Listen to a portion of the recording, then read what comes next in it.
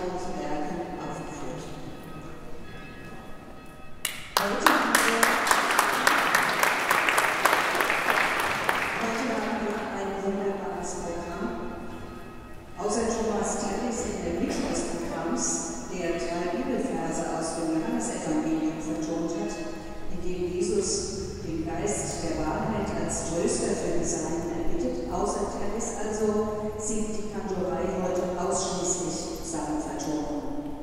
Dabei wird das 20. Jahrhundert Kochland und dritten vom 16. und 17. Jahrhundert mit Schütz und Scham umrahmt. Die Psalmen. Die Psalmen sind das Gebetbuch der hebräischen Bibel und Ausdruck der verschiedensten Haltungen und Emotionen der Beter. Von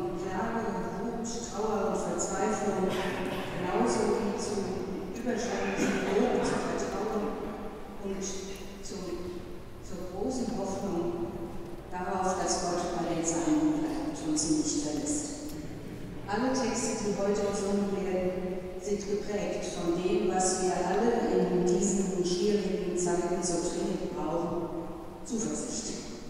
Lassen Sie sich beruhigen.